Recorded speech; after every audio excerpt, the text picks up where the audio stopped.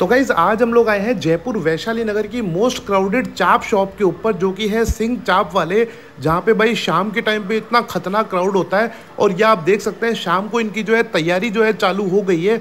बहुत ज़्यादा क्वांटिटी के अंदर यहाँ पे चाप जो है वो निकलती है, चाप, पनीर टिक्का और भी बहुत सारे आइटम जिससे आप आइडिया लगा सकते हैं कि इनकी चाप की क्वालिटी कितनी अच्छी होगी। और ये जो इनका मेन्यू वगैरह है वन फिफ्टी से वन फोर्टी से जो इनकी चाप वगैरह और पनीर की जो डिशेज है, वो चालू हो जाती है। तो इसमें से हम भी जो है कुछ दो तीन अच्छी इनकी फ़ेमस जो डिशेज है, वो लगवाते हैं और आपको बताते हैं। सबसे पहले मैं लगवा रहा हूँ इनका मलाई चाप, जिसके लिए जो चाप है, ये गर्मा गर्म तंदूर के अंदर जो है जा चुकी है और ये चाप हमारी बन करके तैयार हो गई है। मैंने बोल करके जो है एक्स्ट्रा जो है इसको क्रिस्पी करवा लिया है। अब जो है इसकी बढ़िया से कटिंग की जाएगी और इसके अंदर सारी चीज़ें मिक्स की जाएगी।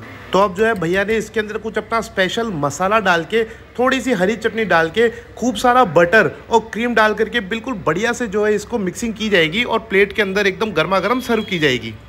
इसके बाद में इसके अंदर जो है और एक बार जो है अमूल की फ्रेश क्रीम जो है वो आएगी।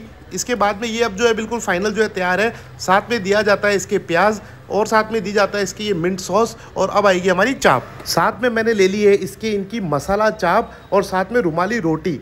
टेस्ट वगैरह की अगर मैं बात करूँ तो इनकी मलाई चाप बहुत ही क्रीमी बहुत ही बढ़िया आपने बनते हुए देखी, एकदम शानदार तरीके से जो इन्होंने बनाई, बहुत ही अच्छा टेस्ट था।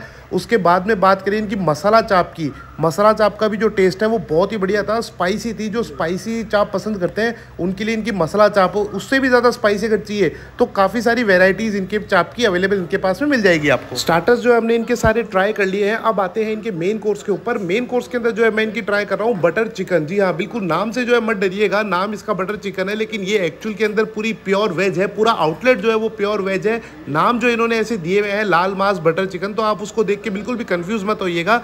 ये वाली जो चाप है, ये स्पाइसी कम होती है, ये जो ग्रेवी है स्पाइसी कम होती है। थोड़ा सा जो इसमें स्वीट फ्लेवर आता है, इसलिए मैंने मेरे लिए ये बनाई है। अगर आपको स्पाइसी ग्रेवी पसंद है, उसके भी बहुत बढ़िया बढ़िया जो इनके पास में ऑप्शन है तो इसके अंदर आप देख सकते हैं ग्रेवी डल रही है, जिसके अंदर कुछ दो तीन तरीके के भैया ने मसाले डाल दिए हैं।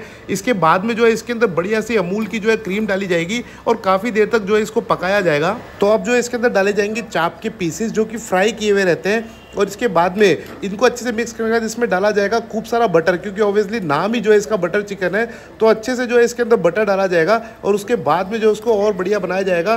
तो भाई और कोई ग्रेवी आप ट्राई करें ना करें, ये वाली ग्रेवी आप यहाँ पर आके ज़रूर ट्राई करें, आपको बहुत ही टेस्टी लगेगी।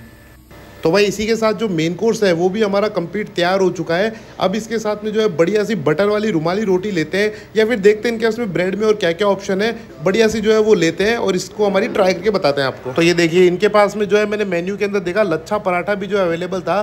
तो बढ़िया सी लेयर वाला लच्छा पराठा जो है, भैया जो है, तैयार करके इसके अंदर लगाएँगे। मेन कोर्स हमारा जो चाप है, उसके साथ में खाने में मज़ा आ जाएगा। खाने में आप तो गाइज़ ये था पूरा वीडियो आप लोगों को जो ये वीडियो कैसा लगा, मुझे कमेंट करके जो है ज़रूर बताइएगा। अगर आप चाप लवर है या आपका कोई दोस्त चाप लवर है, उस तक इस वीडियो को जो है ज़रूर शेयर कीजिएगा। वीडियो को लाइक कीजिएगा। ऐसे वीडियोज़ के लिए हमारे चैनल को फॉलो कीजिएगा।